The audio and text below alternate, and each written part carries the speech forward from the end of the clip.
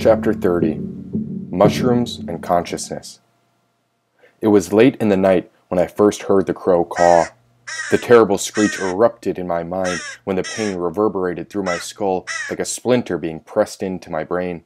I needed more palazoprem quick, but Hammond's fingers couldn't find a fresh supply in the bag labeled quality drugs. All we'd come across were sealed bags of fresh green flower buds, heavy white bricks, and an arrangement of orange pill bottles. It was dealer's choice, but then that damn crow cried out again. Ah, stop, mercy, please! T. Hammond took the body out of the control room and into the hallway in search of the blood-shrieking cry. But there was no crow to be found.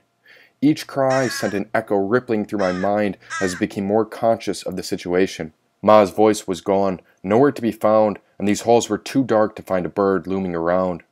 I turned to go back before I heard the crow cry out again. It brought me to my knees. Prisoners screamed while terror videos echoed as my brain split in two. My hands pressed against T. Hammond's temples as if his brain might burst at any moment. We were running dry on the inside, and even Ma was losing hope. I can't take it anymore, yelled Levi's voice. I collapsed beside his door when I heard my dearest brother cry out. Curled in a fetal position, I pressed my ear to the floor.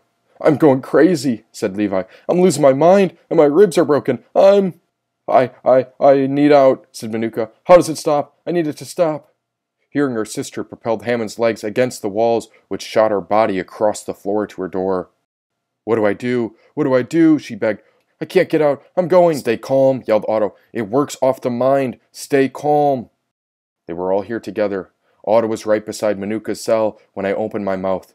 But don't you dare say a word. Don't you dare. Hammond's fingers were reaching for the gap beneath the door, but I was holding my breath about to crack. Otto! yelled Levi. Otto, are you there? Silence hung from the walls before I felt Otto's voice respond. I am. He was defeated, and all that was left was the sound of the hopeless truth when I heard the crow lurking about. The wings fluttered near my brain as I began to ache from the thought of it coming back again. Everything keeps changing. It's changing again, said Manuka. The drugs they gave us are getting worse. Noise flooded under the cell doors all around me. Traitors! Levi screamed. The crow cawed, and the shriek sent my hands over my ears. My arms were squeezing the space around my head as it pried my brain apart.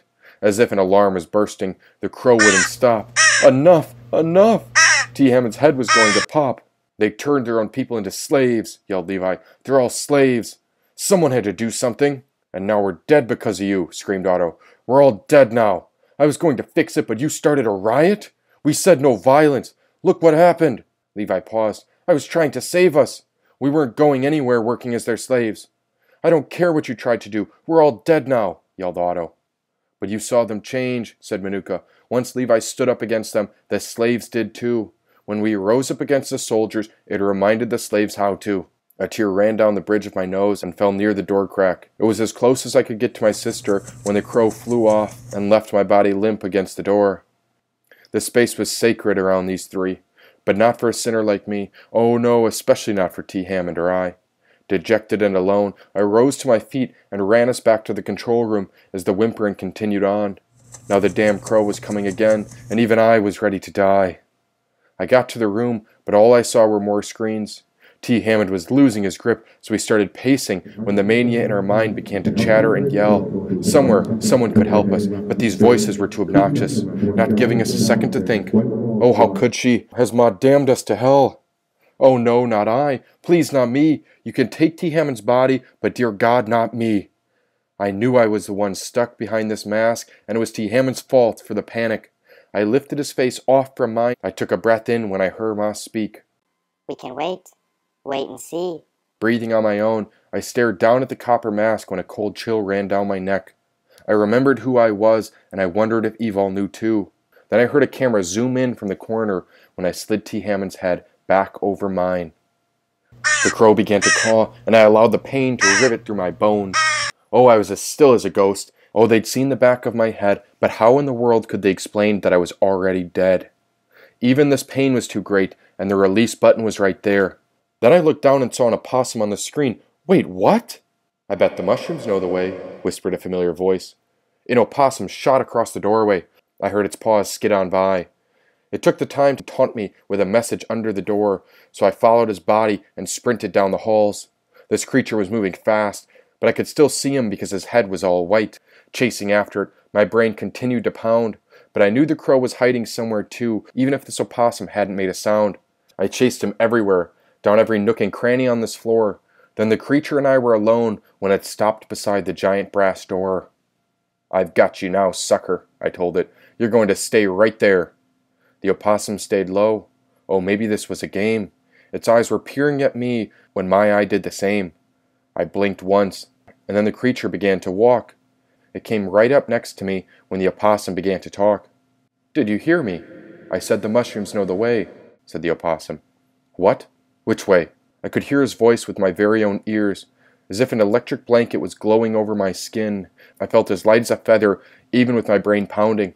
Now the opossum's glowing light pulsated out from within. Like a radio searching for a signal, my third eye caught this creature's light. Observing as I did best, I watched my third eye gain sight. He passed beside me, and so I followed behind him quick. This opossum's light was the healing kind, and now my body wasn't feeling quite so sick. Whatever was happening, this light held a cure. Now the opossum stopped beside the control room and pointed right there. We entered the room when he jumped on the back table. Ah, there you are, said Cicero. These mushrooms will make you feel much more stable. My hand came out from the bag labeled quality drugs before I found ten bottles filled with the psilocybin mushrooms. Cheers to breakfast, lunch, and dinner, said Cicero. Well, I'd been hungry all day, and I was quite curious about what this opossum had to say. Then I heard Ma whisper, Enjoy the mushrooms, my dear. My earth made them that way.